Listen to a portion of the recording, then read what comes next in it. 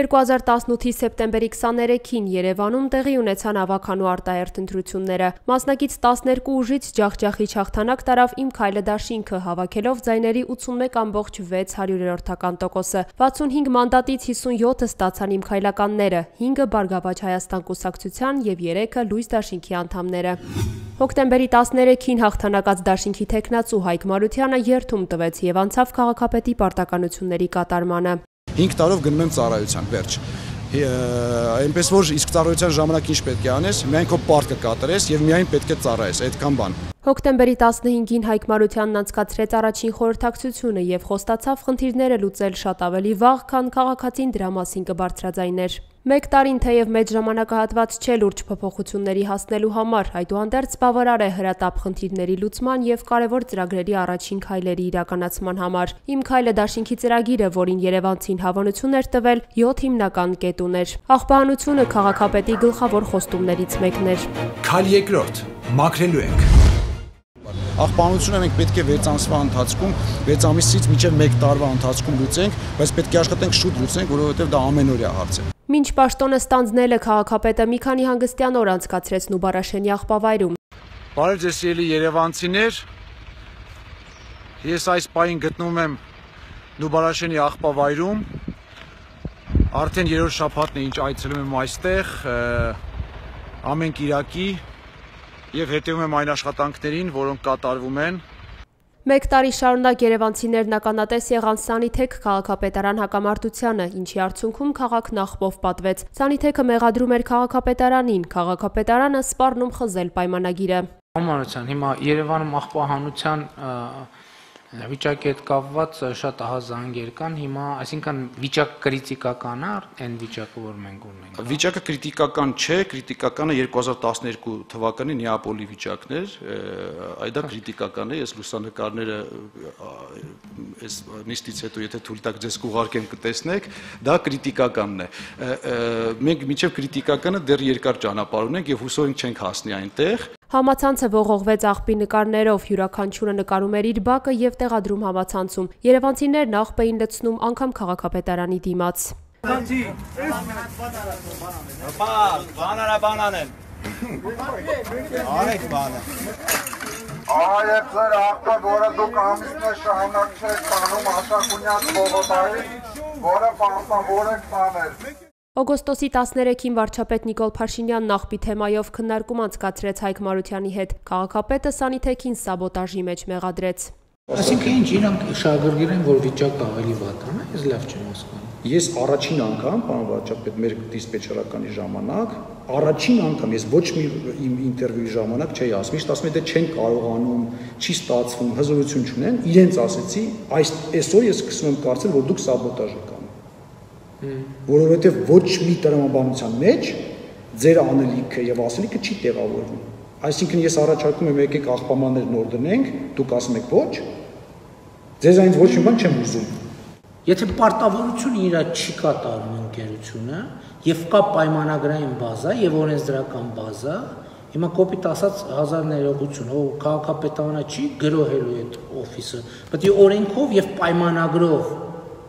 նախատեսված ընթացակարգերով գնա գնա առած, չէ՞։ Ուրիշ ձև կա։ Իհարկե, ես իրավունք չունեմ ուղակի խզեմ պայմանագիրը։ Օգոստոսի վերջին Սանիթեքը վերջնականապես դադարեցրեց աղբահանությունն, ասելով, որ քաղաքապետարանն օգոստոսի երկրորդ կեսի համար փոխանցում չի կատարել եւ ինքը ֆինանսական խնդիրներ ունի։ Ընկերության աշխատողներն օրեր շարունակ քաղաքապետարանի դիմաց նստածույց էին անում, պահանջելով իրենց աշխատավարձը։ Քաղաքապետարանը գումար չէր փոխանցում, որովհետև այդ գումարով ինքն էր կազմակերպում Երևանի աղբահանությունը։ Ավականու 2019-ի ապրիլի 23-ի նիստում ընդունվեց Երևանի աղբահանության եւ սանիտարական մաքրման համայնքային հիմնարկ ստեղծելու որոշումը։ Ավելի ուշ որոշվեց Երևանի աղբահանության եւ սանիտարական աշխատանքների ապահովման բյուջեն ավելացնել 1 միլիարդ 726 միլիոն դրամով։ Սրան զուգահեռ Սանիթեքը 2 ամսում 2 անգամ տուգանվեց 13 եւ 26 միլիոն դրամով։ Հոկտեմբերի 2-ին քաղաքապետարանը հայտարարեց հայտարարեց, որ Սանիթեքին 160 միլիոն դրամ է փոխանցել 2019-ի օգոստոսի երկրորդ կեսին մատուցած ծառայությունների դիմաց։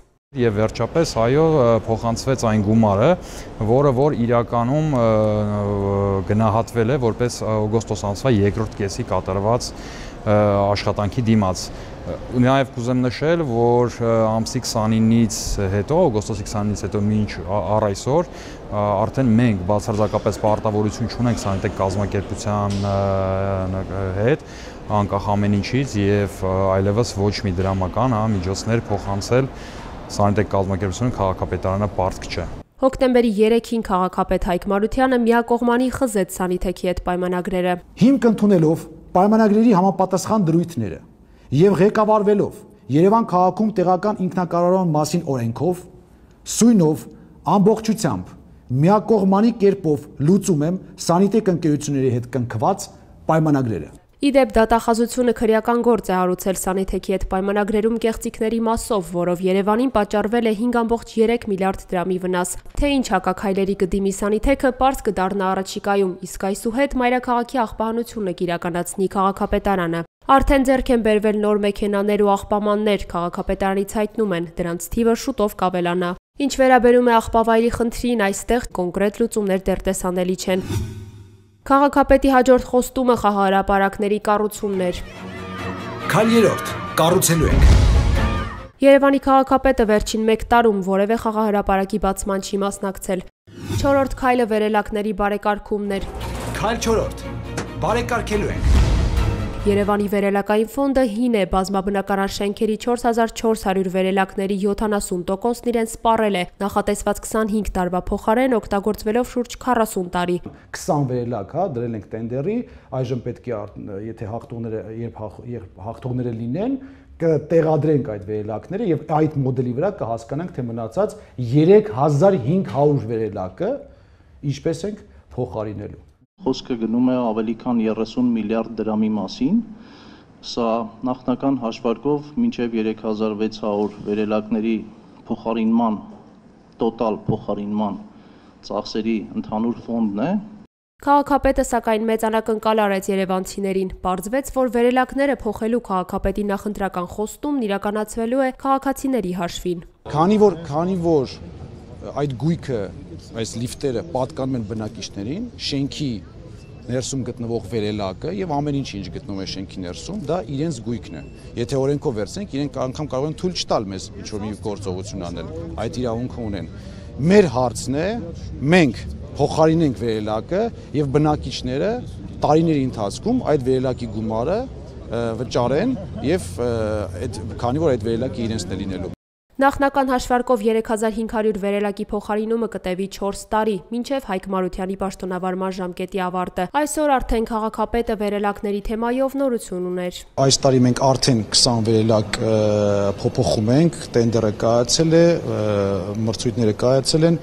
կան հաղթողներ, հիմա աշխատանքներ են ընթանում եւ բնականաբար լինելու է շարունակական process-ը, ասեմ, որ ավելի գլոբալ հարցին լուծում տալու համար նույնպես միջգերատեսչական խումբ է ստեղծված աշխատանքային, որը աշխատում է եւ parberabar նաեւ փոխվարչապետի մակարդակով հանդիպումներ են լինում, որպեսզի ավելի մեծ գլոբալ հարցը լուծում ստանա։ Քաղաքապետի 5-րդ խոստումը պոլիկլինիկաների վերականգնումներ։ Քայլ 5-րդ. վերականգնելու ենք։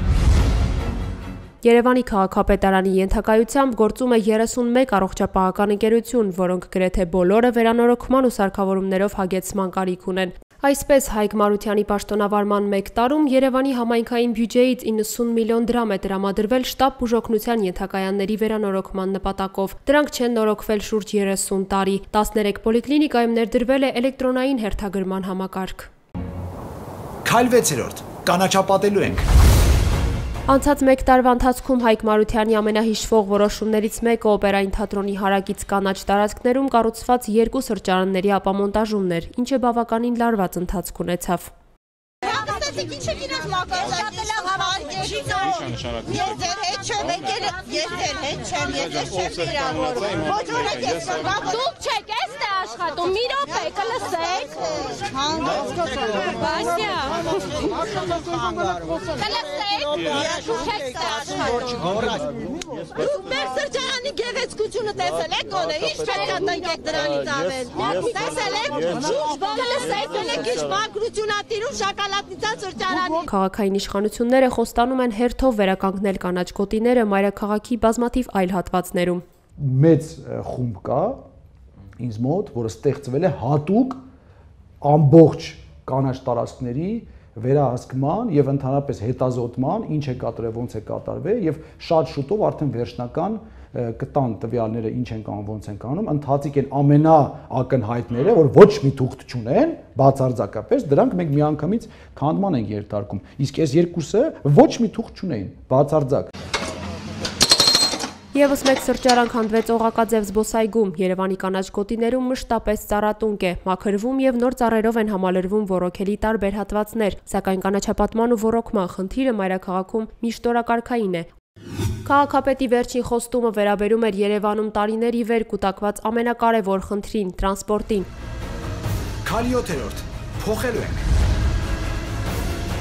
Ցավոք այն այսօր էլ շարունակում է մնալ խնդիրներից ամենահրատապը։ Այո, այո, դա 15 տարվա խնդիր է, ես դա գիտեմ։ Տեղ- Տեղյակ եք որ 15, ես էլ եմ տեղյակ։ 15 տարվա խնդիր է։ Եվ մենք 15 տարվա խնդիրը փորձելու ենք մոտակա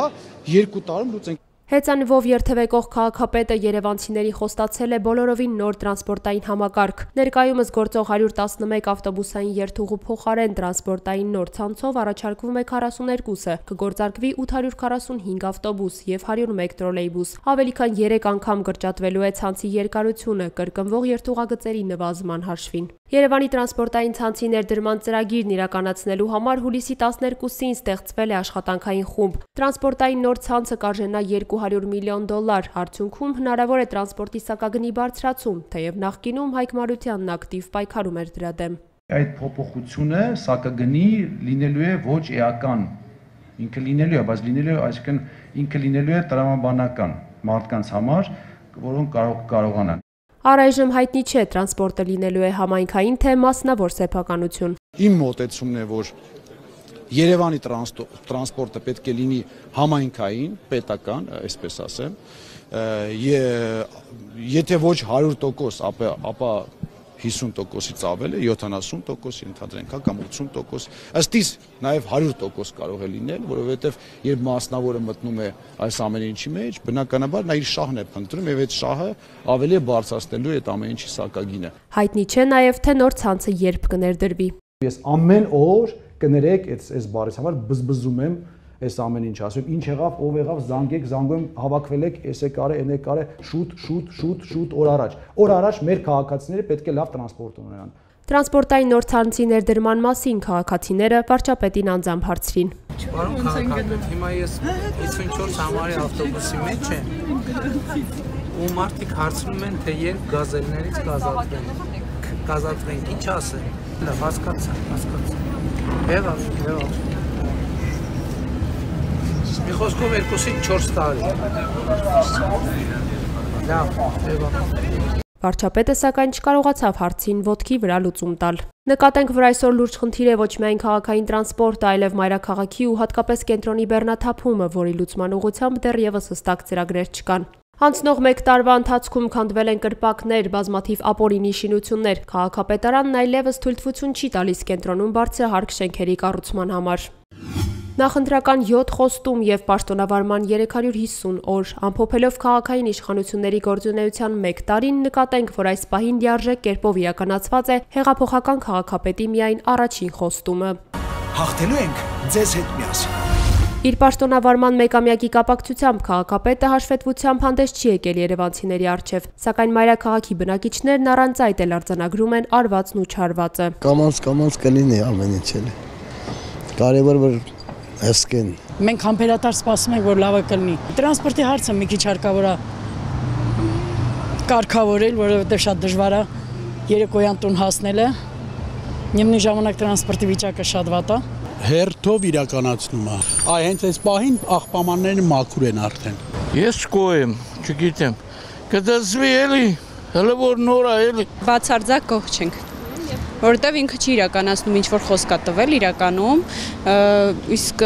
ինչ որ ասենք խոսք է տվել, որ չի իրականացնում, ինչպես կարող են գոհ լինել։ Ես ապրում եմ այնպիսի շենքում, որտեղ որ վերելակա գործում ու նորմալ չի, նույն վիճակում է, ինչպես որ միշտ է եղել։ Որոշ բաները բարելավել են, որոշ բաները դեռ ինձ թվում է կբարելավվեն։ Գոհ եմ, շատ գոհ եմ։ Եթե արկերտներ չլինեն, բամբասանքներ, այսպես ասած, հերոստատեսությամբ շատ լավ աշխատում է, բարեխղճորեն աշխատում է։ Ես վերջի շրջանում ես նկատում եմ, հասկանում եմ, որ քայլեր արվում են, կոնկրետ եթե օրինակ բերենք աղբանության հարցը, հիմա արդեն ես շատ եմ էլի Երևան քաղաքում տարբեր համայնքներում լինում, որ նկատելի է, որ կոնկրետ այդ հարցը արդեն լուծվել է, այդ հարցը արդեն կարգավորված է։ Այդքան էլ չէ, գող չենք այդ աստիճան։ Շատ քիչ ժամանակ անց որ կարելի է կողմ դորոշվել, մի քիչ պետք է սպասել, հա։ Այդ 30 տարի որ խափեցին, այս մի տարում այդ խեղճ մարդուց ինչ են ուզում։ Ինձ թվում է պետք է համբերություն ունենալ։ Համբերություն եւ վստահություն եւ հավատ։ Ինձ թվում ամեն ինչ կլինի։ Մի փոքրիկ պետք է համբերել, ոչ թե պահանջել անմիջապես։